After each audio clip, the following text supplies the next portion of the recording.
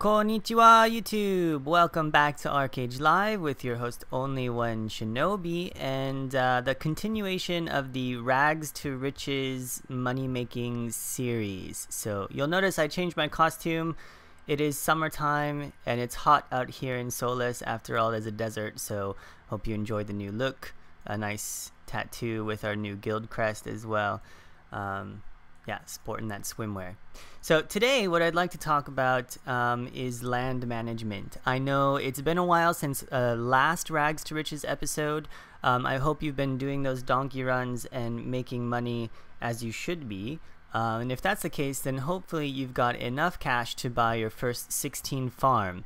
Um, now, I would suggest buying the farm before the farm cart, uh, just so that you have a place to put packs or grow things, mats for your trade runs, uh, or just make some money to help you get your hauler and uh, your wagon and your hauler. Uh, and when you have a 16, there are a few approaches you can take. Uh, first is to grow materials for your trade runs. Second would be for crafting. Um, third might be for uh, just selling directly to the auction house. So let's take a look at what we have around here. Um, you'll see this guy has a gazebo. Um, and he's got a bunch of uh, what do you what do you call them? Water buffalo. Uh, he's obviously growing for leather, um, which he'll use to craft probably. So that's one approach. Uh, on this gazebo, there's milk and uh, lemons. So um, this is actually my gazebo. Um, and I do this uh, to get materials for larders, which I use for trade packs. So that's growing for trade packs.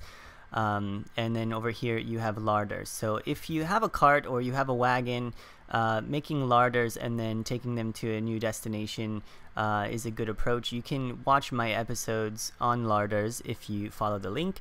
Um, and this is a good way to make money because these packs are a little bit more, uh, have a little bit higher turn-in than, than other packs. So there are a few approaches you can take. Um, if you're going to grow to sell, which is kind of what I suggest, if you only have one 16 by 16 farm, um, then it might be best for you to just grow items to sell directly on the auction house.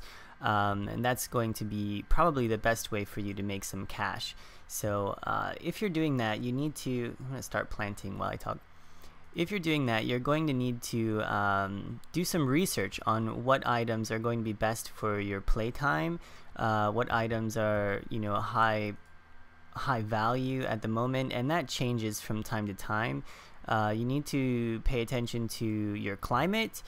Uh, we're out here in Solis. This is arid climate, so the only thing that really gets a bonus is saffron. But depending on your climate, you actually get a higher yield uh, for the type of crop that you grow.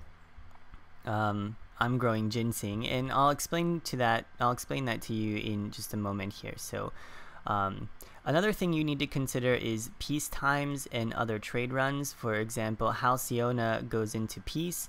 Um, and people move those packs quite frequently, and so when that happens, things like yams, um, and other trade materials that Halcyona uses are going to go up in price. So if you have a lot of time to invest into uh, planting and farming, then those are things that you should consider. Now I personally don't have time to worry about peace zones and uh, daily fluctuations in prices, so I tend to plant something that's going to be always uh, in demand, such as ginseng. Um, saffron is a good one, also quinoa, uh, some of the higher, more expensive seeds. Um, but it takes a lot of money to invest in it if you've got farms. So uh, if you do only have one farm, I also recommend planting single seeds. You'll notice I'm doing bundles, but that's because I have multiple farms.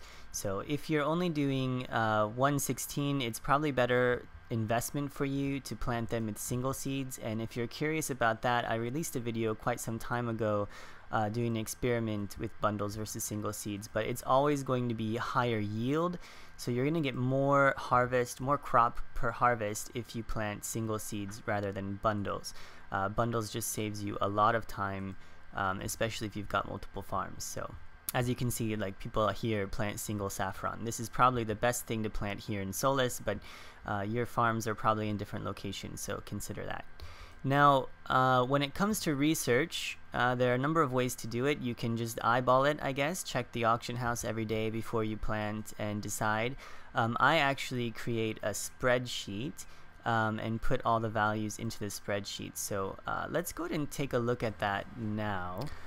Okay, so here's the spreadsheet. I call it my agriculture report. And what I've done here is I've listed all of the uh, uh, all of the farming and gathering uh, seeds on the left hand side here. Um, and then I've calculated in the cost of labor as well as the cost of the seeds um, and how much labor it takes and then we've we've sort of calculated out here how much profit you'll get per seed or per farm um, so mm, we'll just go over real quickly we've got seed costs the labor to harvest um, and then the yield average yield of a single seed or average yield of a bundle so my bundle values are not exactly accurate since I can't find information on the amount of labor it takes to harvest each bundle um, but we're filling that in as we go uh, from experience. So if you take a look over here, if you take a look over here at the end, then we have the profits here. Uh, we just put input the current auction house value of the object uh, of the crop and then it'll come up with the profit. So single seed profit here, this is, what is this? Aloe, for example. Uh, single seed profit per 16 farm is about 30 gold whereas with bundles it's about 25 um, and this is after the cost of labor so this is assuming that you are buying a labor pot when you do this um, and you're still going to come out with 25 gold profit. Um, I've also put in the time here so that um, you know if I'm about to go out for three days I can take a look or if I'm going to be back in 12 hours I can plant something else. Now generally speaking the faster growing plants are going to be more profitable. Um, that's just how this game works. So uh, if you're gonna sit there, you want to farm potatoes nonstop, then you can go ahead and farm potatoes. So what I usually do is I come over here to the profit section and then I organize that uh, by highest profit. So we go to alphabetical, there we go. Um, and as you can see then ginseng, quinoa, beans, uh, these are always at the top. Saffron is quite low today. Um, I'm not exactly sure why, but um, saffron is usually up there with the rest of them. So that said, ginseng is almost always at the top. Uh, if we go to the lifetime list, uh, you can see, let's see, ginseng. I can't spell. G, ginseng, is always sort of highest profit. So sometimes uh, 11 silver each, uh, recently 15 silver, uh, for example, here in June.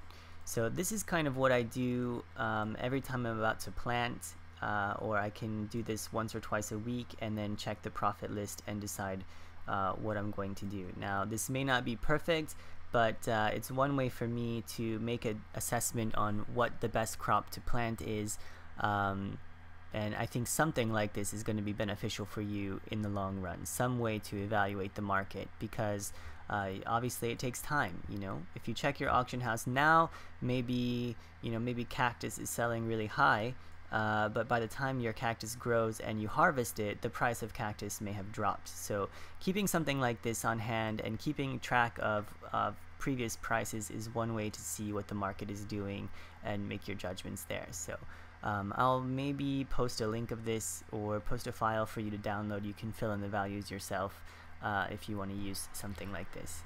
Okay, so now that you see how the spreadsheet works, you can get an idea about how to monitor the market and choose a crop that's going to be best for you. Um, now, I live in an arid climate, so saffron uh, is usually at the top of the list along with ginseng and quinoa, but saffron is going to be best in arid climate. Uh, if you're just planting 116, you might want to go with that. Um, I choose ginseng for a number of reasons. First is that uh, ginseng is a little less labor intensive.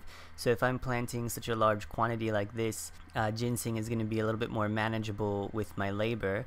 Uh, second is that saffron takes a little bit longer to sell. Now I want a quick turnaround, so I plant ginseng and this sells almost immediately. Uh, so the profits are in my pocket and I can plant again rather than wait.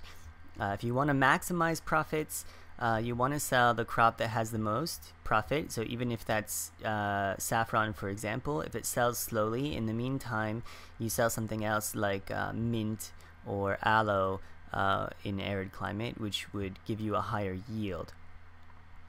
So that being said, I hope this gives you sort of an idea of what to plant on your 16 farm.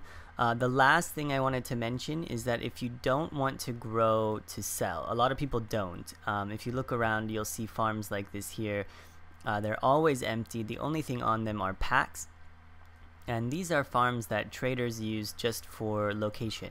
Uh, so they just store their packs here before they want to take them to the turn-in point. So if that's something you'd like to do, because trading does make lots of money, uh, you need to consider your location quite quite carefully. So some locations are better than others. For example, Silent Forest here up near the Ynystere border is an excellent location. Whenever Ynystere goes into peace, uh, you can just move whatever packs you have staged and take them over.